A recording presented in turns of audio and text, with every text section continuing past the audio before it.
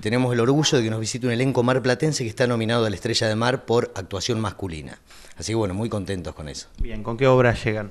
Bueno, llegan con una obra que se llama El veneno del teatro, que habla un poco de hasta dónde llega un actor para ser auténtico arriba del escenario y cuál es el límite que tiene con la vida real.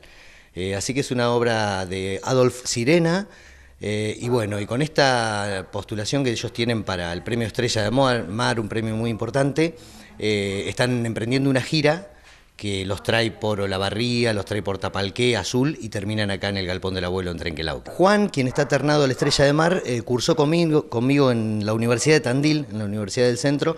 Hicimos interpretación 1 e interpretación 2 en la, en la universidad hace muchísimos años, en el año 2001.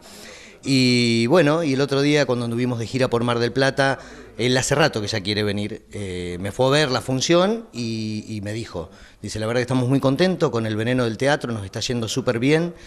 Este, están invitados a festivales internacionales también. Dice, vamos a hacer una gira, quiero terminar allá en tu ciudad. Así que para nosotros es un orgullo poder tener una obra que realmente está muy bien catalogada.